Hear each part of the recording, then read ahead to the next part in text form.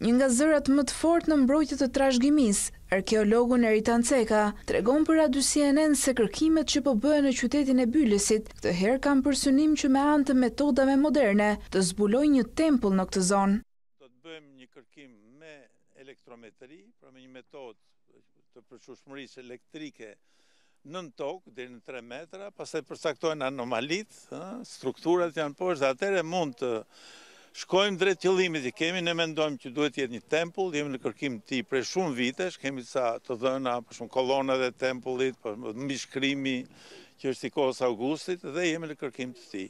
Pra, Edhe pse vijon të mbetet kritik për mënyrën e përthithjeve të fondeve dhe pengesave që ka ligji i trashëgimisë, Ceka nënvizon se qytetarët duhet të shohin qytetin e vërtetë të Bylisit dhe kjo nuk duhet të mbesë vetëm në retorikë, por duhet të vijojnë me zbulime të reja.